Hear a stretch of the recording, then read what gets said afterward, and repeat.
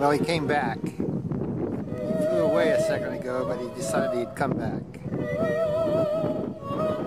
Fortunately, he's in the shade.